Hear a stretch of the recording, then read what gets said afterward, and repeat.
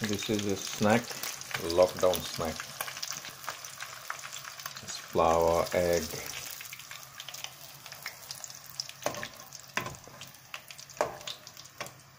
Very tasty.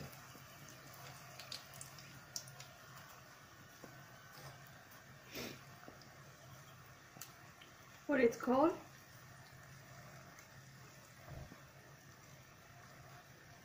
I don't know what it is. It's called? You have to take it, rinse the oil, and then cut it. So after we cut this, it looks like this.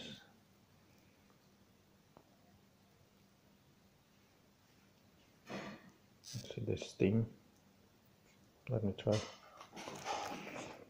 Hmm.